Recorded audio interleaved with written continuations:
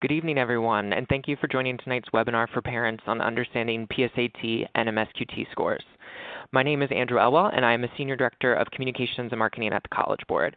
I'm joined tonight by my colleagues Eric Li, Senior Marketing Manager at Khan Academy, and Andrea Satariano, Director of College Guidance at Sewickley Academy. I'm really excited to have you guys both on the line tonight.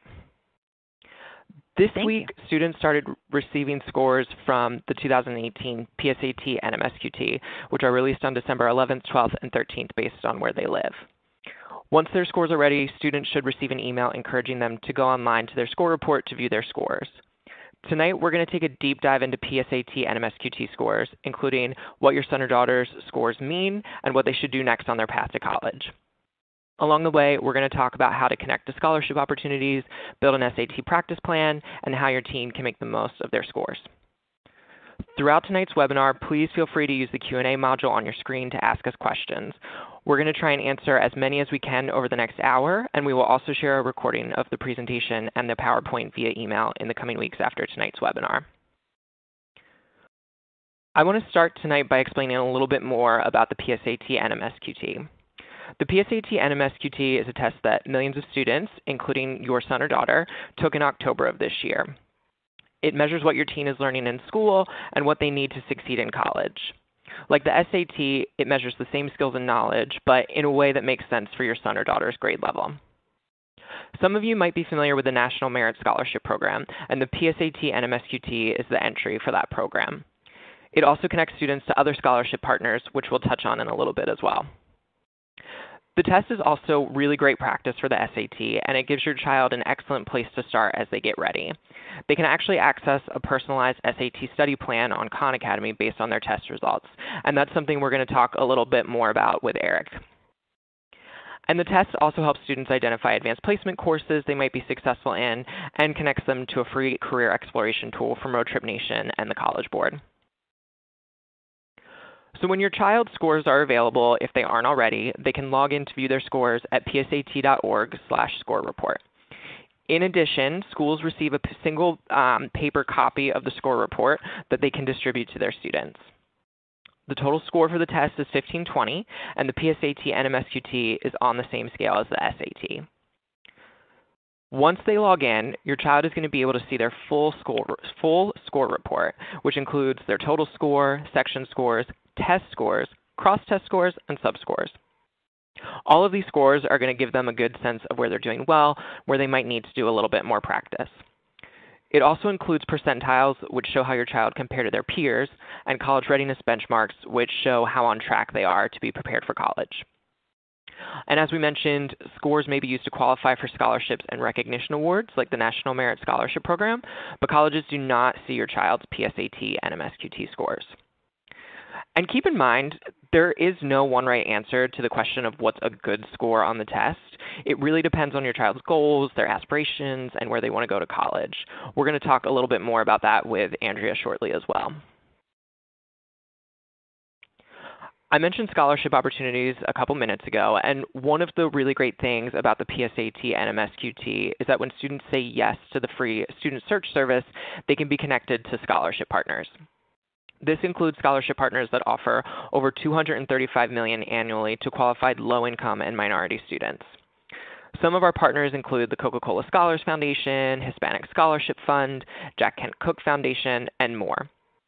If your child opted in to Student Search Service and qualify, they'll be invited to apply in the fall of their senior year. In addition to our awesome scholarship partners, this year the College Board also launched the College Board Opportunity Scholarships. The, this new program is now open for students in the class of 2020 who are attending high school in the United States, Puerto Rico, and other U.S. territories. It's a $25 million commitment that we are making over the next five years, and there's no application or essay required and no GPA or SAT score requirement. The new program guides your child through the college planning process and offers them a chance to earn money for college for each action that they complete.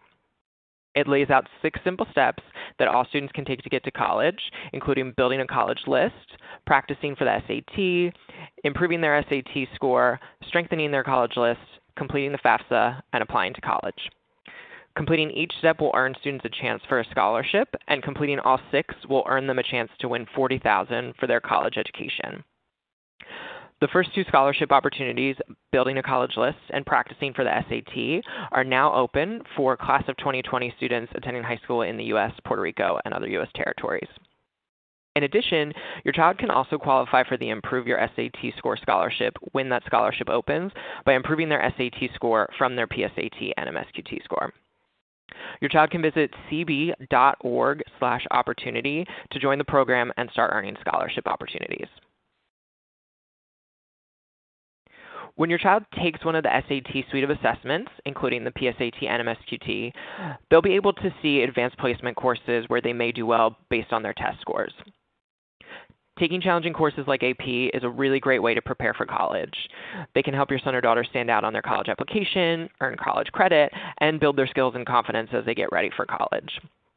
You can visit the AP Potential section of your child's score report to view courses where they may have potential. And make sure your child talks to their school counselor about which courses are available in their school and which courses might be a good fit for them. Also in your child's score report, they can access Roadmap to Careers. This is a free career exploration tool from the College Board and Roadtrip Nation. Roadmap to Careers is a unique online tool that lets students explore majors and careers that align with their personal interests and then connects them back to compatible schools on Big Future, which is our free college planning website. Your son or daughter can access videos, listen to stories from folks in different career paths and a variety of fields, and they can also get ideas for small, actionable steps to try out the careers and majors that they discover. This includes course planning ideas, which will help them start a conversation with their counselor and can help them make informed academic and career decisions based on what really drives them. So as you can see, there's a ton of really great information included in your child's PSAT NMSQT score report. To recap really quickly, make sure you have your child view their scores at psat.org slash score report, depending on which day their scores are released. Talk to your child about practicing and preparing for the SAT because most students take the test in the spring of their junior year and then again in the fall of their senior year. And have your child talk to their counselor about their school scores. Their school counselor can really help them better understand their scores and what they should do next. And of course, if your child opted in to Student Search Service, they should be on the lookout for information from colleges and potentially from scholarship and recognition programs. So with all of that, I want to turn now to Eric from Khan Academy to talk a little more about official SAT practice. Um, there are millions of students who are using official SAT practice to get ready for the SAT, so I'm excited to talk a little bit more about that. Eric, to start us off, can you just tell us a little bit more about Khan Academy? Yeah, happy to, Andrew. so Khan Academy is a nonprofit with a mission to provide a free world-class education for anyone, anywhere.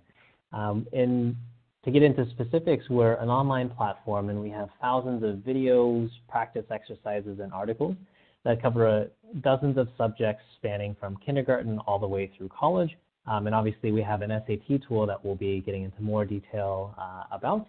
And so far, across the US, we're used by about 18 million students a month and in about 10,000 school districts across all 50 states. So uh, quite invested in really improving educational outcomes for students in the U.S. and excited to be here and to share more. That's great. That's a lot of students using Khan Academy, which is awesome. Um, so you mentioned the SAT practice tool. Can you tell us more about what official SAT practice on Khan Academy is? Yeah, very happy to. So official SAT practice on Khan Academy, simply put, is the best way for your son or daughter to get ready for the SAT. Um, it's an online platform dedicated to every facet of the test. So math, reading, writing, essays, and really it has everything your child could need from practice questions to official practice tests to how-to videos to help them uh, remind them about concepts they might have forgotten, and articles that cover test taking strategies as well, like time management, how to avoid careless mistakes. And there are really three things I'd really want to touch on to, to emphasize um, that, that really sets official SAT practice apart. The first one is that it's completely free. Um, so there's no monthly fee, no ads, no costs whatsoever. And so it's a real, uh, that makes it really accessible and there isn't a large cost barrier, barrier unlike some uh, other kind of ways your, your son or daughter might be thinking about preparing. Uh, the second thing I would call out is that it's personalized and tailored to your students. So uh, the platform will understand each student's strengths and weaknesses, the exact concepts where they, they have the most opportunities to improve, and then recommend exactly what they should do. And so um, I'm sure you've, uh, you've heard your son or daughter ask, well, I'm not sure where to start on the SAT. What should I do first? Should I do math or reading and what concepts?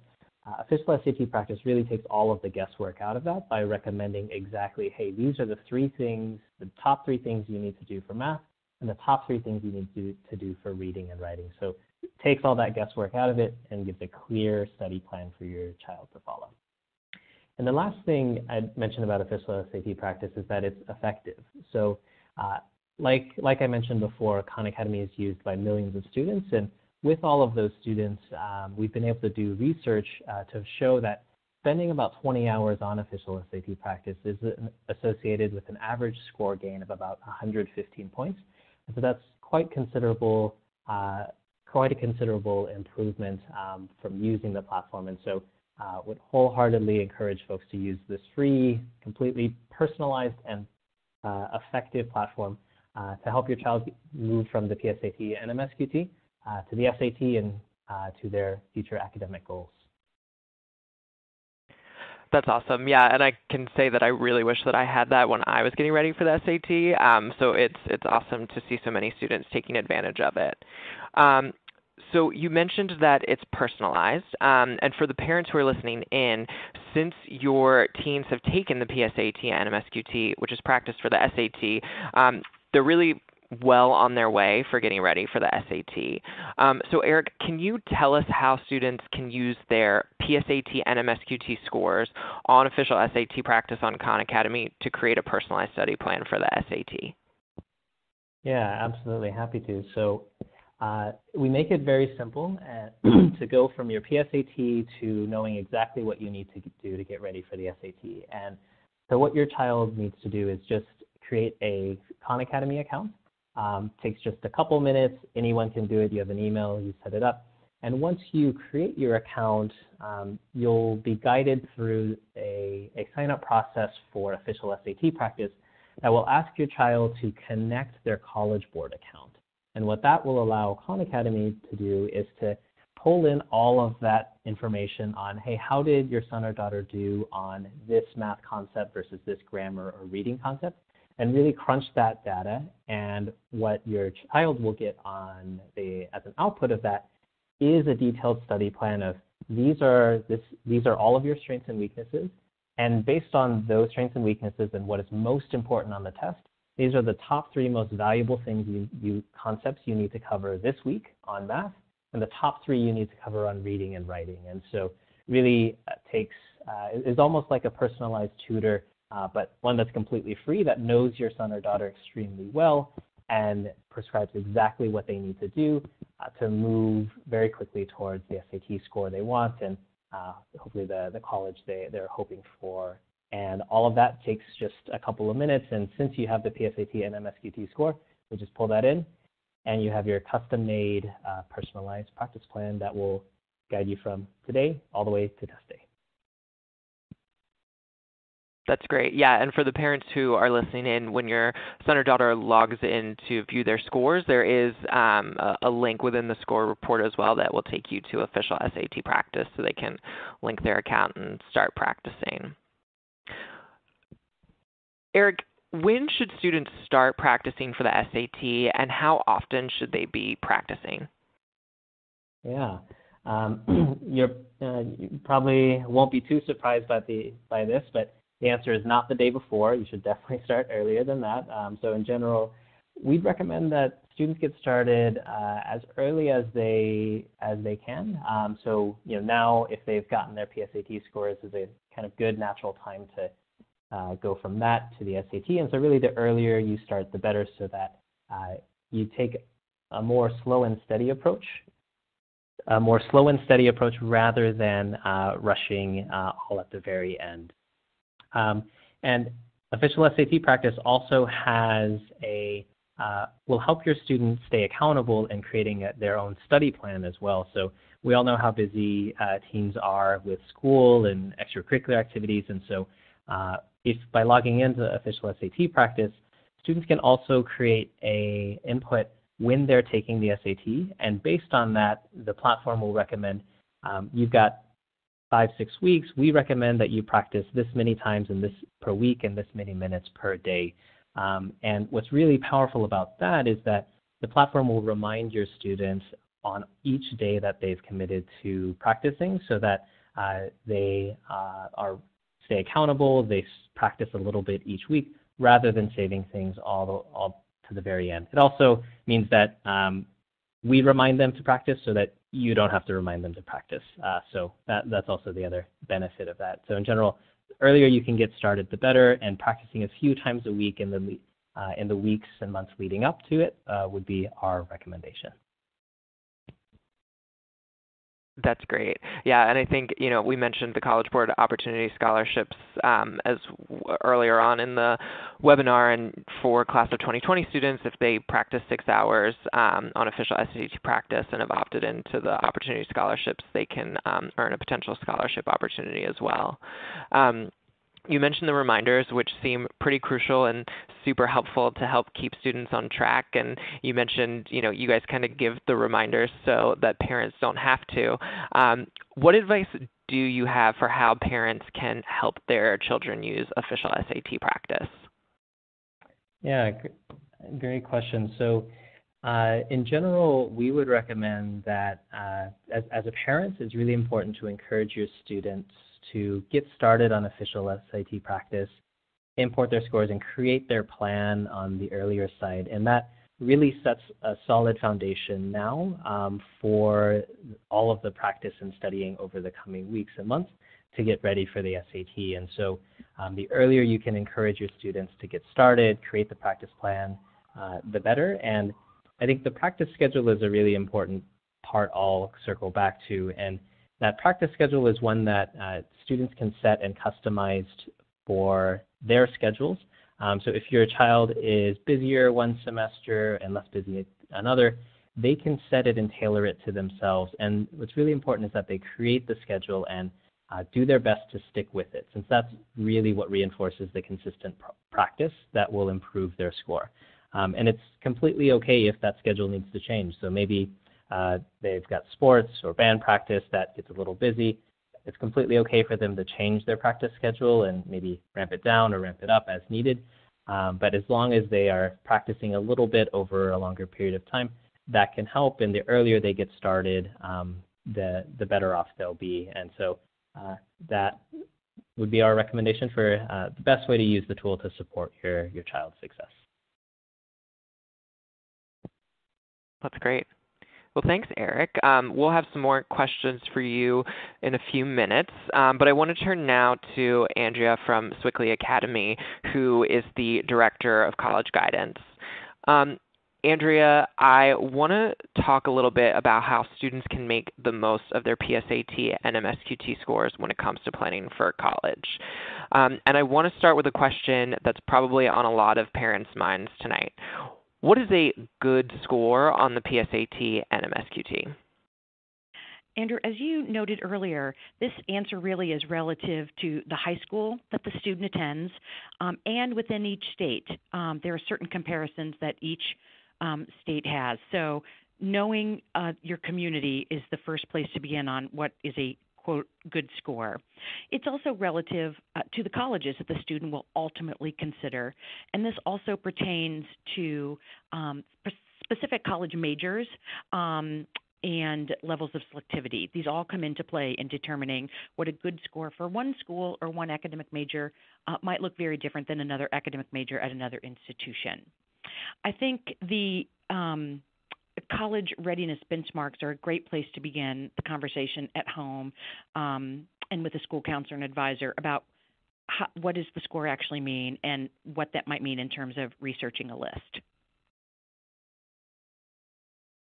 Great. So it sounds like you know if you're trying to evaluate, um, if if a parent's trying to evaluate whether or not their son or daughter you know got a quote unquote good score, it makes sense to take a look at schools they might be interested in, schools they have in mind, and sort of see where it falls. Is that is that right?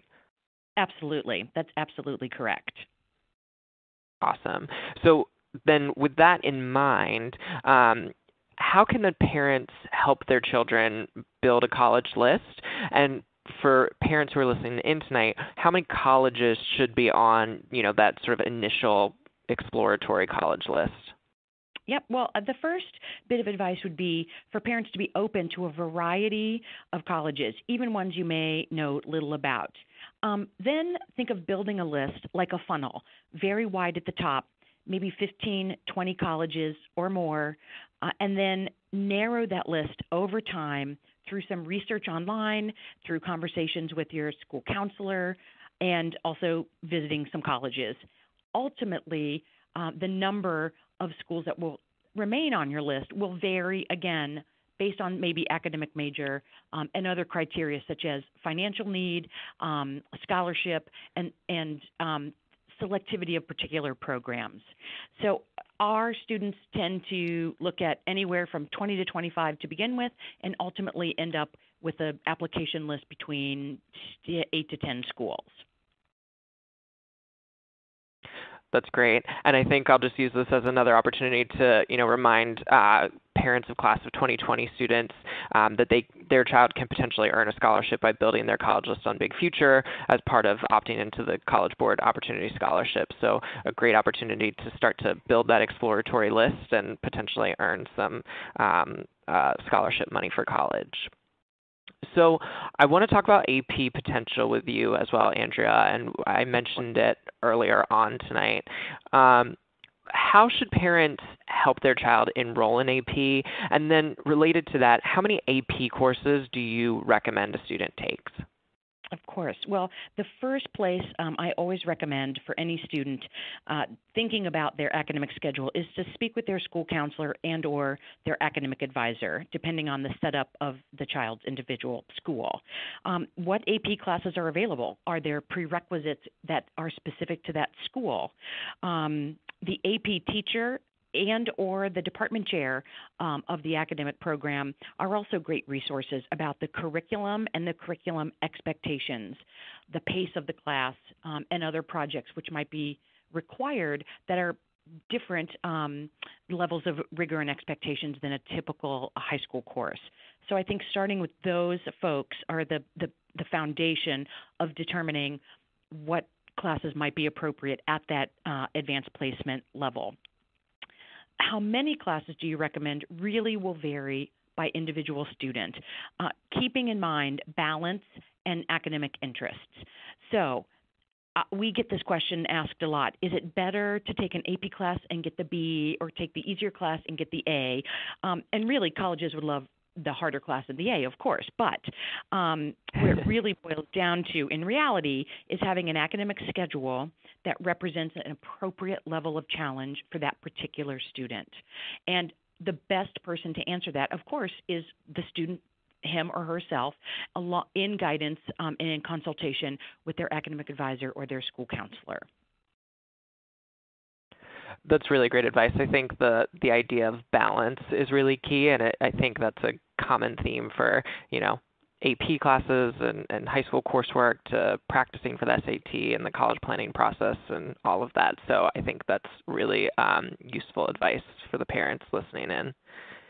So how about scholarships? Um, when is the right time for students to start looking for and applying for scholarships?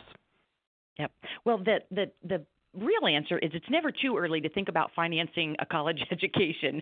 Um, however, the most common time to really dig in about looking for and applying for scholarships for parents and students um, at the at the application level would be fall to winter of senior year. Now, that's really because the college list is defined by then.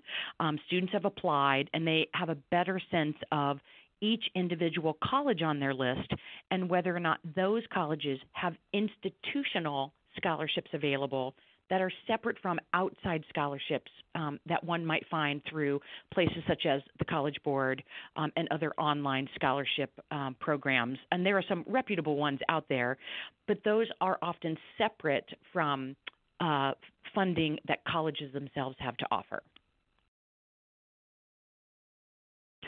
That's great. And do you think it's also helpful for students or parents to, you know, take a look at potential scholarships like before senior year just to see like what's out there and what they might be interested in applying as well?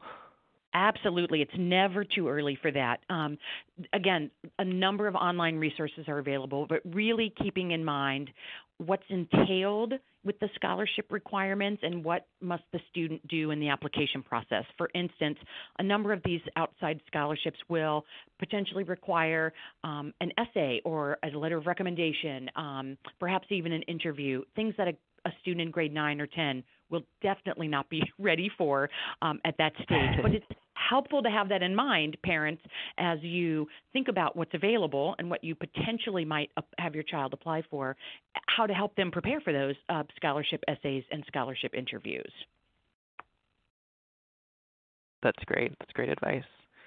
Um, so, for the parents of sophomores who are listening in, um, what advice do you have for them uh, in terms of other steps that they should be taking this time of year to help their child with the college planning process? I think a couple um, points in particular for sophomore uh, families out there. One, um, in again in consultation with an advisor um, and or a school counselor, whatever again the home school supports, have a uh, an academic meeting to map out the courses throughout senior year of high school. Sometimes seeing the end point of senior year courses helps you plan backwards. Is your child on track for a particular course? Do you want them to end up with calculus? Are they on track for that? Um, again, meeting prerequisites and perhaps supplementing a summer course to help you advance to another level might be consider in consideration now.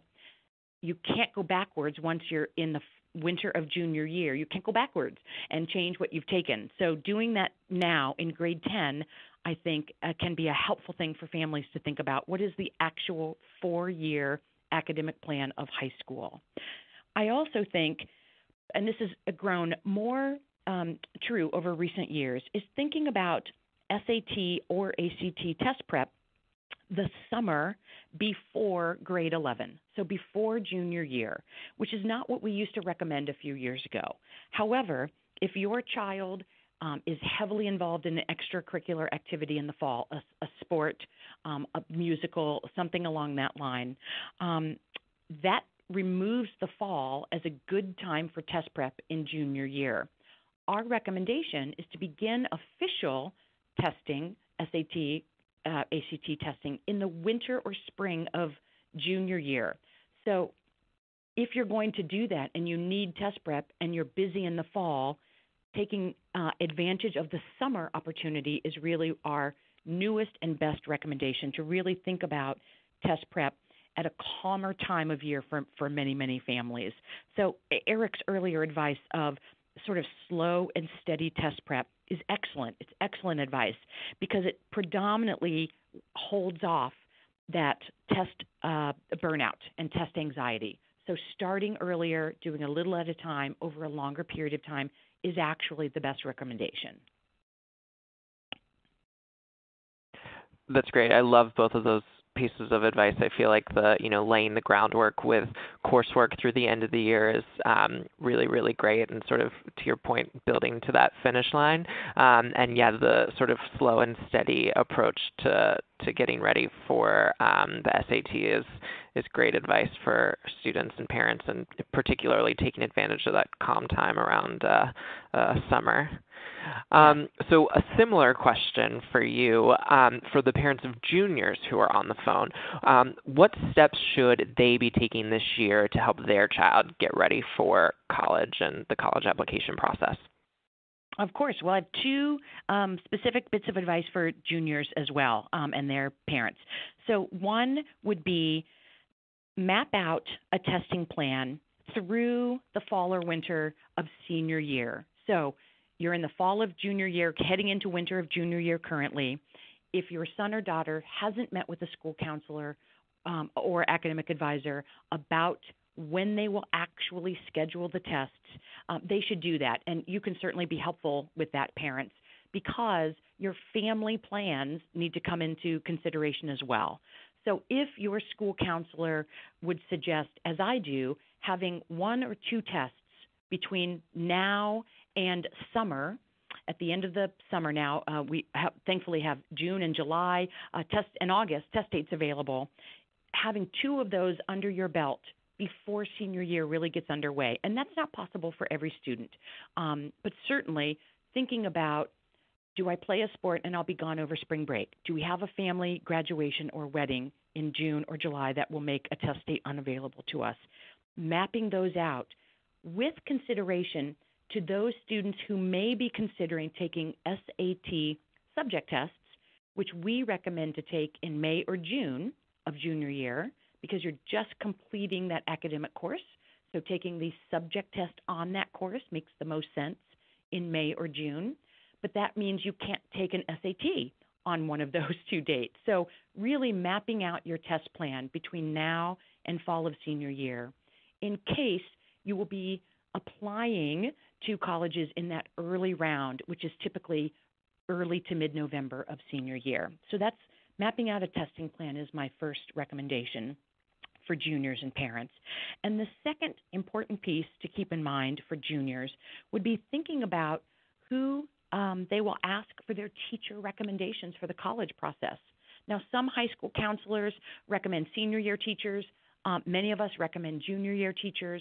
So, again, working with your school counselor and figuring out when should we be asking for teacher recommendations, and if it's junior year, figuring out who are the best folks to really ask for those recommendations. And do you have a follow-up question to, to that? Do you have recommendations of what um, they should be thinking about when they're thinking of who should be giving those recommendations? Absolutely. So, again, some of this is academic specific. So, if your son or daughter um, is very invested and interested in um, math, science, STEM courses, um, engineering, then asking a math and a science teacher do t- make sense. Um, however, my overall recommendation is think about the right brain and the left brain.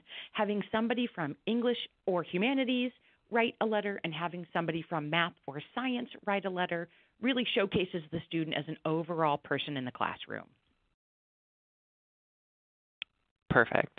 Yeah, and I think, you know, a common theme that you'll probably agree with that seems to be coming from our conversation is, you know, make sure that your child is having regular conversations with their school counselor um, or their academic advisor and, and keeping in close uh, contact as they're planning and getting ready for the college planning process.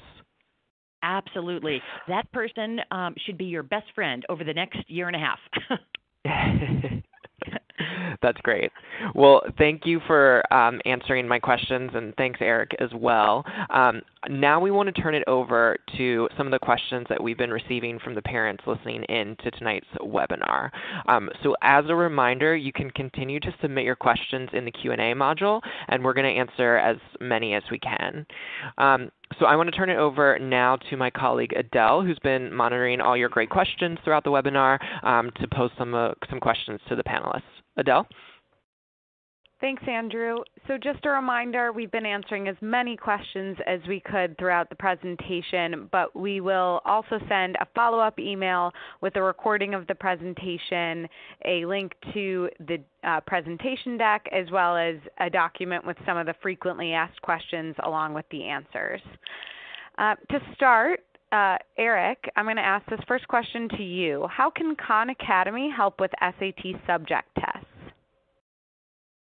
Yeah, great question. So, uh, you know, after the more than just official SAT practice, Khan Academy also covers a wide breadth of other subjects. And so, um, if you think about most of the AP classes or um, SAT subject tests that may come up, we have content covering not just the math, reading, and writing on the SAT, but uh, all of the concepts covered in SAT 2 math tests in most of the sciences, so physics, chemistry, biology, um, and so uh, there is a wealth of resources that cover those subjects with videos, with practice exercises so they get some hands-on practice um, as well. So I would just recommend that students go onto Khan Academy, click the sources, uh, courses uh, drop-down menu, and they'll see all of the subjects that we cover. Um, and I think the only other piece I would recommend is that many of the tips and strategies uh, that we share on official SAT practice are also quite relevant for the SAT subject tests. So things about time management, how to take a practice test to simulate the real thing, how to avoid careless mistakes, how to actively read uh, the problem so that you're answering the right question. Many of those resources are also equally applicable for uh, the SAT subject tests. Awesome, thank you. Andrea, this next question's for you. Um, how should stu- parents help their students categorize favorite schools versus fallback schools versus settle for schools? Excellent question. So, I when I work with students, um, I talk frequently about the categories of um, stretch or reach, I think of a pyramid, and at the top are the stretch reach schools. In the middle of the pyramid are sort of good match, and at the bottom are more foundation schools. And what I mean by that are I begin with academic statistics. So if you look at a college's um, uh, profile of their incoming class, they will often give you uh, students had an average GPA of fill in the blank and an average SAT score of fill in the blank.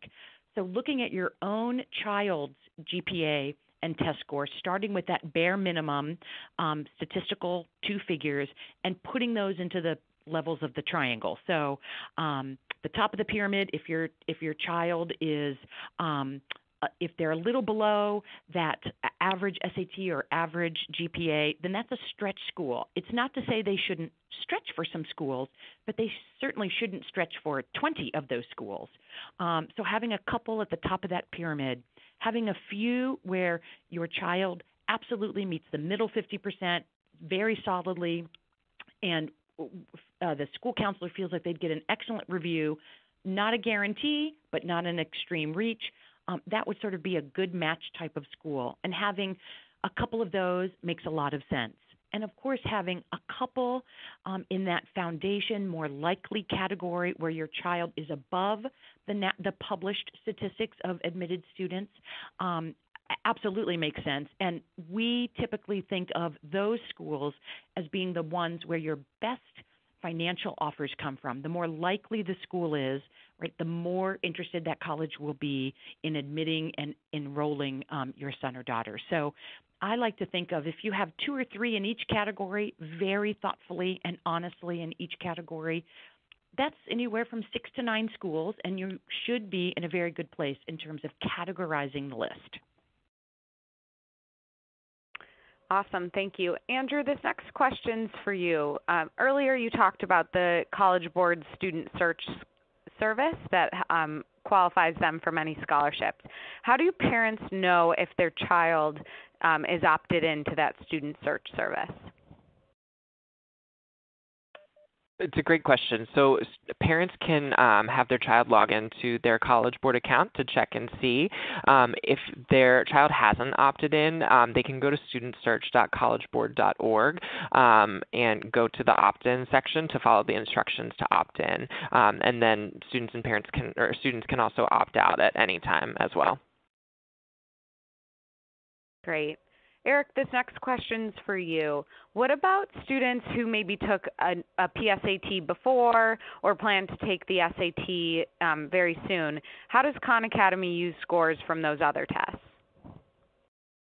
Yeah, so we actually take into account all of the data that we have about the student, whether that's from an earlier PSAT, a recent PSAT, um, or any and all of the work and practice that you uh, that students do on Khan Academy. So we really are constantly crunching what we know about your daughter or son to formulate the latest picture of well these you know um, these are now the the biggest opportunities uh, and concepts that the child should focus on and so whether you are six months out a year out or you know six days out we uh, have ways of understanding where you are. And for just for those parents whose students perhaps haven't taken the PSAT yet, uh, but want to get a jump start or um, aren't able to link their scores, there is there are ways to still create a personalized practice plan just by taking our diagnostic quizzes that serve that same purpose of understanding and diagnosing where your child's strengths and weaknesses are. So, um, but to answer your question, Adele, it really takes uh, the platform considers all the data that we have um, about the student, no matter when that data came in. Great. Andrew, this next question's for you. Uh, many parents asked about national merit qualifying scores. Um, do you, uh, what's our best advice to parents who want to know more about national merit? Yeah, it's a great question. I'm sure it's on a lot of folks' mind uh, listening in tonight. Um, so for those who want to know more about National Merit, we really recommend that they visit the nationalmerit.org um, website to learn more about the program and, and specifics about the scholarship. Great. Andrea, this question's for you. Is it reasonable to apply to a school that you haven't visited in person? Ah, good question. Very good question. So, in general, the answer is uh, of course. Um, applying to a college and waiting to see if um, your child is admitted um, and then going to visit is certainly um, acceptable. And visiting colleges can become costly very quickly. Uh, one small concern I have about that uh, is that some colleges in this sort of era of uber competitive admissions at a number of places, they want to know you know something about the school. So having an initial visit, even as a grade 10 student, a sophomore or early junior, if you're driving through an area and you're walking through the campus, even if it's not an official visit, your uh, application will be more informed if you've stepped foot on that campus, or at a minimum, done sort of the virtual online tour, because some of the supplemental essay questions could be geared to uh, exactly that. What do you know about our institution and why are we on your list? Um, having an in depth answer to that will help distinguish your application. So, visits are certainly important um, and can be helpful in advance, but certainly not expected at every college. Great. Andrew, this next question's for you. How many times can students take the SAT? So there isn't um, a limit to the number of students or times that a student could take the SAT, but um, like Andrea mentioned, um, we recommend that students take uh, the SAT twice, uh, once in the spring of their junior year and then again in fall of their senior year.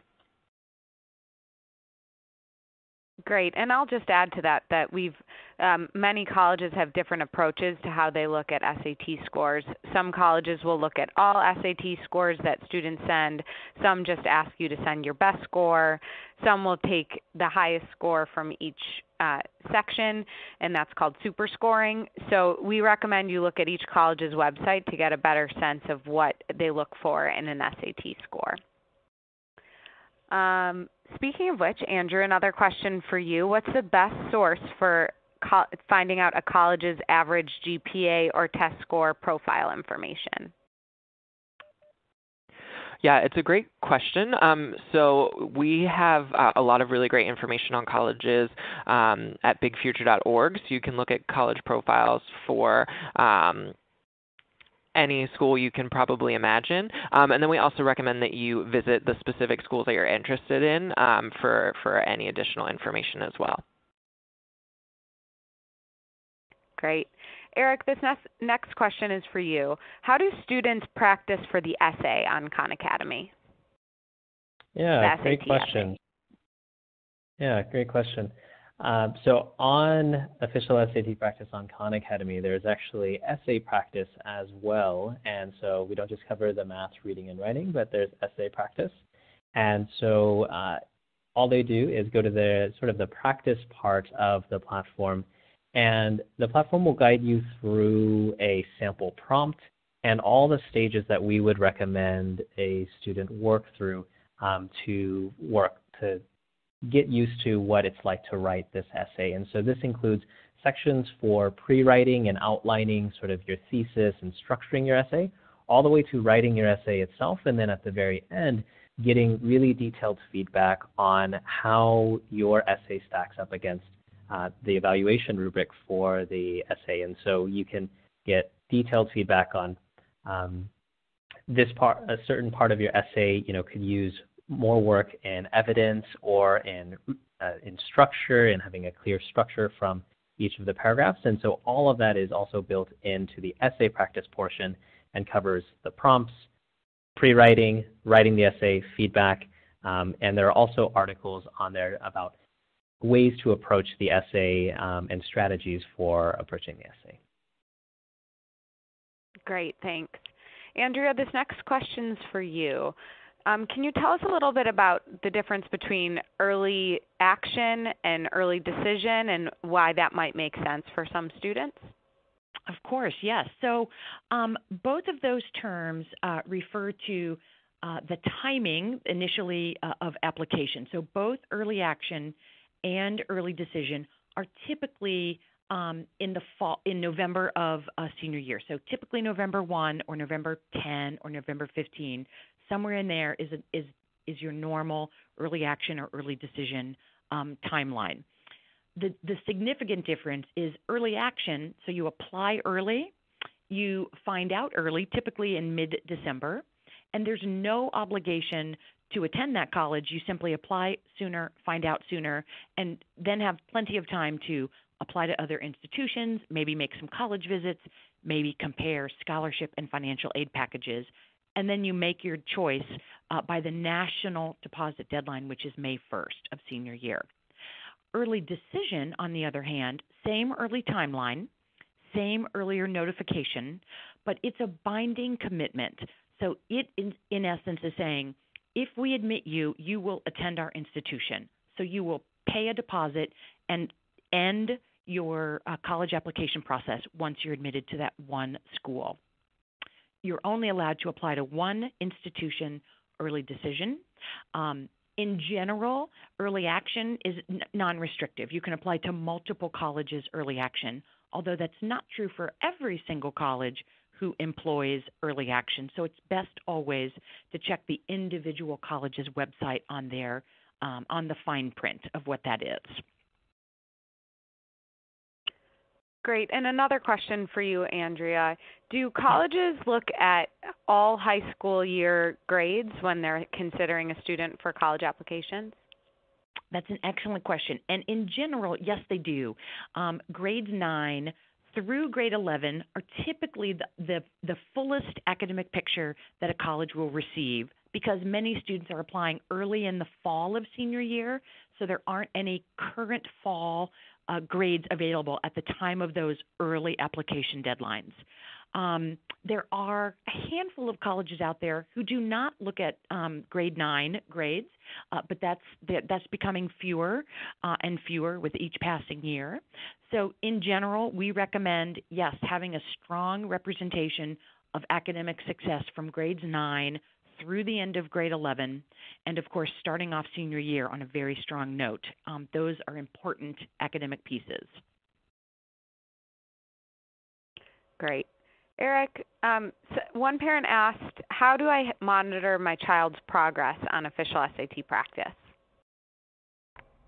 Yeah, great question. And, you know, I, I think in general it would be about uh, making sure you're communicating effectively with your students about the the timeline for their SAT when they plan to take it and the approach and plan they have in place for uh, getting ready. I, I, think in general, what we've seen work best is when uh, that's sort of more of a collaborative or student-driven uh, process and uh, own there's some ownership on that. That really helps, and so I'd encourage that you start there. Um, in addition to that, within uh, official SAT practice, there once your student logs in on their uh, dashboard, it will show sort of how they've practiced and so how many problems they've done over the course of uh, since they've started, what days they've practiced, uh, that sort of thing. Um, and in, in, addition to that, there are also so, there's sort of more of a parent or coach's teacher's view of your student's work on official SAT practice, and that will give even more detail uh, on what your, your child is practicing, on what days, how much time.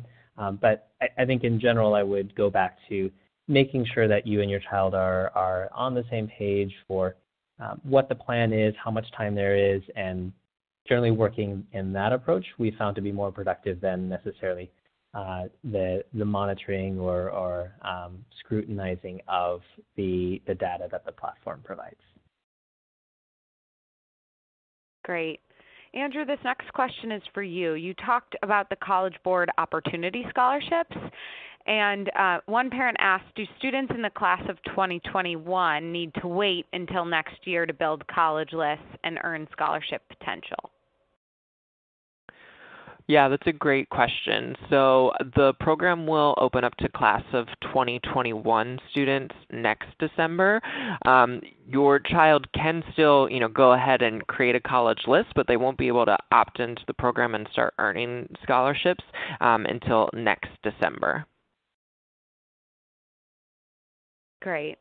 And then Eric, another question for you. One parent asked, are they able to use Khan Academy, is their child able to use Khan Academy on their phone? Yeah, absolutely. They are. We have apps for iPhone and Android, and so you can download those apps so that you can access all of the uh, courses and materials on on the go. And I think the, the other piece that uh, is quite cool in that is that we've actually partnered with the College Board so that if your son or daughter wants to take the uh, practice test uh, for the SAT, which we absolutely recommend to uh, get ready and understand what the real experience is like, if they take the paper test, they can actually use uh, the College Board app. And Adele, remind me the name of the College Board app uh, again? It's called Daily Daily Practice for the SAT. Yep. So using the Daily Practice for the SAT app, they can actually scan in their, their scores, and that information will also feed into Khan Academy. So multiple ways for students to use uh, Khan Academy resources um, on mobile, not just on desktop. Yeah, that's a great point, Eric, because many students take uh, SAT practice tests on paper and pencil to get a sense of what the test day experience is going to be like.